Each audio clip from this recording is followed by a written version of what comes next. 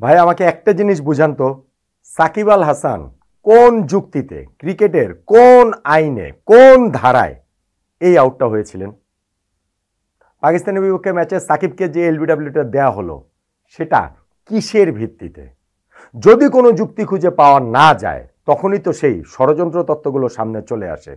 বড় দল, ছোট দলের ব্যাপারগুলো সামনে চলে আসে। ইন্ডিয়া, পাকিস্তানকে সেমিফাইনালে অন্তত নেওয়া, ফাইনালের সম্ভাবনা টিকে নেওয়ার ব্যাপারগুলো চলে আসে।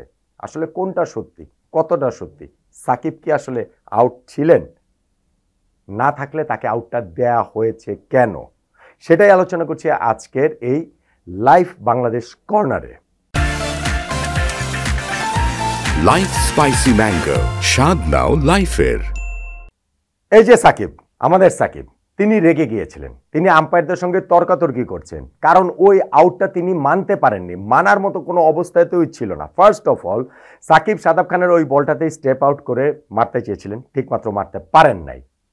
হিউজ অ্যাপিল করেছে পাকিস্তানিরা এবং আম্পায়ার এড্রিয়ান হোলস্টক যেটা হচ্ছে সাউথ আফ্রিকার আম্পায়ার যিনি হচ্ছে সেই কুখ্যাত টেস্টের ইনফ্যাক্ট আম্পায়ার ছিলেন। এরাসমাস আর তিনি ছিলেন। এরাসমাসও কিন্তু গত ম্যাচে আবার ওই যে বাংলাদেশ ভারত ম্যাচেও কিন্তু এরাসমাস ক্যাপ্টেন ছিলেন। আমি সেই কুখ্যাত টেস্ট মানে সেই ডারবান টেস্টের কথা বলছি, যেখানে অনেকগুলো ডিসিশন আমাদের বিপক্ষে গেছে। সাকিব যে টুইট করেছিলেন যে আইসিসির আবার নিরপেক্ষ আম্পায়ারের দিকে ফেরত যাওয়ার কথা, মনে আছে তো? মানে সেই এড্রিয়ান হোলস্টকের কথা বলছি। তিনি অনেকক্ষণ অনেকক্ষণ পরে গিয়ে তিনি আপিল অ্যাপেলে হচ্ছে গিয়ে সারা দিলেন আউটের আউট দিলেন। ঠিক আছে অনফিল্ড আম্পায়ার সেটা ভুল ধরতে পারে। কিন্তু যে হচ্ছে গিয়ে লং টার্ম রিসেরে যিনি হচ্ছে গিয়ে জিম্বাবুয়ের আম্পায়ার টিভি আম্পায়ার ছিলেন, তিনি কি করলেন? আপনারা সাকিবের এই জিনিসটা একটু ভালো করে খেয়াল করে দেখুন। সাকিব যখন ব্যাটটা দিয়ে বলটাকে তিনি মারছেন, মারার চেষ্টা করছেন শ্যাডোটা দেখুন। সাকিবের ব্যাটের নিচে দেখেন একটা ছায়া আছে। দেখতে পাচ্ছেন না ছায়াটা? ছায়াটা থাকা মানে কি? তার মানে ব্যাট এবং মাঠের মাঝখানে ক্রিজের মাঝখানে একটা খালি গ্যাপ আছে। গ্যাপ তো আছে। এটা তো প্রিটি ক্লিয়ার এবং স্পাইকটা দেখুন, একটা স্পাইক কিন্তু এই জায়গাটাতে যখন রিভিউ নেওয়া হয়েছে, তখন দেখা যায় যে গেছে যে এই জায়গাটাতে একটা স্পাইক আছে। কোন সময়? ব্যাটের এখানে দুইটা পজিশন দেওয়া আছে। একটা আছে হচ্ছে গিয়ে ব্যাটের একদম মানে ক্যামেরাটা সামনে থেকে, আরেকটা আছে ক্যামেরাটা পাশ থেকে। তো ব্যাটটা যে গ্রাউন্ডে লাগে নাই, সেটা ক্লিয়ারলি বোঝা যাচ্ছে। এখন স্পাইকটা তাহলে হলো কোথেকে স্পাইকটা দেখেন, বলটা আছে ব্যাটের ঠিক পাশে। তার মানে এখন এই মুহূর্তে, এই অবস্থাতে টিভির এই ফুটেজ দেখে ডিআরএস এর এই অবস্থা দেখে কোনোভাবে এটা অন্য কোনো কিছু বলার উপায় নেই যে সাকিবের ব্যাটে বলটা লাগেনি। ব্যাটে যদি বলটা না লাগবে তাহলে হচ্ছে কি স্পাইকটা করতে আসলো? তার ব্যাটটা হচ্ছে মাঠের দিকে উপরে আছে।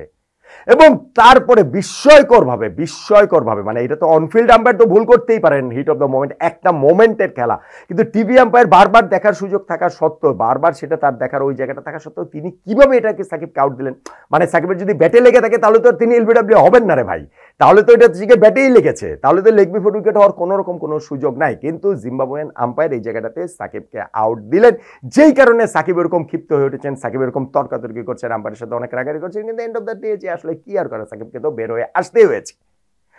এখন পয়েন্ট হচ্ছে, এই কথাটা কি শুধু আমি বলছি, এই কথাটা কি শুধু আমরা বলছি, আমাদের উপরে একটা ট্যাগ দিয়ে দেওয়া হয়। হ্যাঁ বাঙালি অতি আবেগের জাতি, বেশি আবেগ দিয়ে তারা সবকিছু সামনে ইয়েটে সামনে নিয়ে আসে। সো এটা হচ্ছে আবেগে ভেসে যে বলছে। বিষয়টা কিন্তু এরকম নয়। ধরুন হচ্ছে গিয়ে আকাশ চোপড়া, যিনি হচ্ছে গিয়ে যাকে এখন অনেকেই ফলো করেন, তার নিজস্ব একটা ক্রিকেটের চিন্তা ভাবনার কারণে ইন্ডিয়ান মানে সাবেক ক্রিকেটার কমেন্টেটর হচ্ছে গিয়ে তার ইউটিউব প্ল্যাটফর্মেও তিনি রেগুলার কাজ করেন। সেই আকাশ চোপড়াও তো টুইট করেছেন রে ভাই। এই দেখেন আকাশ চোপড়ার টুইটটা পড়েন। তিনি ক্লিয়ারলি এবং লাউডলি বলছেন যে সাকিবের ব্যাট গ্রাউন্ড টাচ করে না এবং তিনি ওই ছবিটাই ইউজ করেছেন। ওই ছবিটাই ইউজ করেই সেটা জানাচ্ছেন যে সাকিবের ব্যাটটা তো গ্রাউন্ড টাচ করে নাই। তাহলে ওই জায়গাটাতে হচ্ছে গিয়ে যে স্পাইকটা রয়েছে শ্যাডোটা তিনি খেয়াল করতে বলছেন। আমি যে কথাগুলো বললাম এবং সেইখানে তো হচ্ছে কি তাহলে সাকিব তো এখানে বলটা তো ব্যাটেই লেগেছিল। আউটটা তাহলে কেন দেওয়া হয়েছিল? বাংলাদেশ এখানে একটা পুয়ার আম্পায়ারিং এর ডিসিশনের শিকার হয়েছে? একই কথা ক্রিক ইনফোতে আমি দেখছিলাম লাইভ কমেন্ট্রি চলাকালীন সময়। ওদের ওই লাইভ কমেন্ট্রিতেও কিন্তু এটা দেখা বলা আছে। দেখেন আপনারা, সেখানেও বলা আছে যে সাকিব স্টেপ আউট করেছেন, বাইরে বেরিয়েছেন, প্রায় তিন মিটার তিনি বাইরে বেরিয়ে এসেছেন। এটা হচ্ছে কি একটা পয়েন্ট আরেকটা পয়েন্ট হচ্ছে গিয়ে তার ব্যাট তো হচ্ছে গিয়ে এয়ারে ছিল, তার ব্যাট তো হচ্ছে গিয়ে গ্রাউন্ডে টাচ করে নাই। এবং ওইখানে একটা টাইনি কিন্তু দেখা গিয়েছে, ওই যে ডিআরএস এর ওই ডাক্তার কথা বলেছে তাহলে সাকিবকে আউট দেওয়া হয়েছে? সো এই কথাটা শুধু আমাদের কথা না, একটা জিনিস হয়েছে যে এখন বাংলাদেশের হচ্ছে গিয়ে ঠিক আছে, যে সাকিব, এই এই আউটের কারণে বাংলাদেশ ম্যাচটা হেরে গেছে, আমি সেটা বলছি না। আমি সেটা কোনোভাবেই বলছি না। বাংলাদেশ ব্যর্থতাকে আড়াল করার জন্য এটা একটা অজুহাত হিসেবে সামনে দাঁড় করে আনে। আগের ম্যাচে ভারতের বিপক্ষে সেই পাঁচ রানের পেনাল্টির কথা বলেন, যেটা ওই ফেক ফিল্ডিংয়ের কারণে আমরা পেতে পারতাম, কিংবা এই ম্যাচে সাকিবের আউটের কথা বলেন। এটা কি আমরা অজুহাত হিসেবে দাঁড় করাচ্ছি? ডেফিনেটলি সেটা দাঁড়, আমি অন্তত করাচ্ছি না, এবং বাংলাদেশ টিমেরও কেউ দাঁড় করাবে বলে আমার কাছে মনে হয় না। কিন্তু যেটা অন্যায়, সেটা তো ভাই অন্যায় বলতেই হবে। যেটাতে আমরা অন্যায়ের শিকার হয়েছি, সেটাতে আমরা বলব না যে আমরা অন্যায়ের শিকার হয়েছি। এবং যখন আপনি পরপর দুই ম্যাচে ভারত এবং পাকিস্তানের বিপক্ষে দুই দলের বিপক্ষে এরকম দুইটা ম্যাচের গুরুত্বপূর্ণ সময় সময় যখন ডিসিশন আমাদের পক্ষে না যায়, তখন তো ষড়যন্ত্র ততগুলো সামনে নিয়ে আপনি না চাইলেও আপনার সামনে আসলে ওই জিনিসগুলো চলেই আসবে। চলে এটা আসতে বাধ্য। আমি আবারও বলছি, আমাদের ব্যর্থতাকে আমরা মানে আমি আড়াল করার চেষ্টা করছি না। আগের ম্যাচে তারপরেও বৃষ্টির পরে যখন খেলা শুরু হয়েছে, আমাদের অবশ্যই জেতা উচিত ছিল ওই ফেক ফিল্ডিং টিল্ডিং এর ঘটনা আগের ওই সব কিছু বাদ দিয়েও আমি বলছি। আজকের ম্যাচেও বাংলাদেশে প্রথম দশ ওভারে এক উইকেটে সত্তর করেছে, পরে দশ ওভারে মাত্র সাতান্ন রান করাটা এটা কোনোভাবেই এটা যৌক্তিক না। কিন্তু সাকিবের আউটে মোমেন্টামটা পুরোপুরি আমাদের দিক থেকে চলে গেছে। এই সত্যটা অস্বীকার করা যাবে না। এই সত্য অস্বীকার করা যাবে না যে পরপর দুই ম্যাচে আমরা বড় সড় ধরনের, বড় সড় ধরনের আম্পায়ারিংয়ের অন্যায়ের শিকার আমরা হয়েছি। হার্ষা বগলের একটা টুইটের কথা গত ম্যাচের পরে হচ্ছে অনেকে এটা সার্ফেস করেছেন। তো এখন আপনারা এই আকাশ চোপড়ার টুইটটাকে ছড়িয়ে দেন না। যারা তখন করেছিলেন, তখন প্রথমত আকাশ চোপড়ার এই টুইটারের কথা বল, সামনে নিয়ে আসেন যে তিনি তো হচ্ছে এই ম্যাচে বলছেন যে সাকিব রেট আউট না। আর হার্ষা যে টুইটটা করেছিলেন, সেই টুইটেও কিন্তু একটা বড় সড়ো গ্রস একটা মিস্টেক ছিল। হার্ষা বলেছিলেন যে ম্যাচ চলাকালীন সময় এটা কেউ দেখে নাই। আম্পায়াররা দেখে নাই, কেউ মাঠের কেউ দেখে নাই ব্যাটারও দেখে নাই। ব্যাটাররা দেখছে ভাই।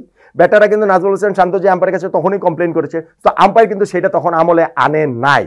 সব কিছু মিলিয়ে এন্ড অফ দ্য ডে গিয়ে যখন সাকিব আল হাসানের আজকের আউটের কোনো যুক্তি আপনি খুঁজে পাবেন না এবং পরপর দুই ম্যাচ এরকম ঘটনা ঘটবে, তখন কিন্তু সেই সব ষড়যন্ত্র তত্ত্ব, সেই সব হচ্ছে গিয়ে বড় দল, ছোট দল, সেই সব হচ্ছে গিয়ে আইসিসি সেই সব হচ্ছে গিয়ে বিগ টিমকে আম্পায়ারদের ফেভার করা, সেই সব হচ্ছে গিয়ে ইন্ডিয়া পাকিস্তানকে সেমিফাইনালে অন্তত নিয়ে যাওয়া ফাইনালের সম্ভাবনা টিকিয়ে রাখা।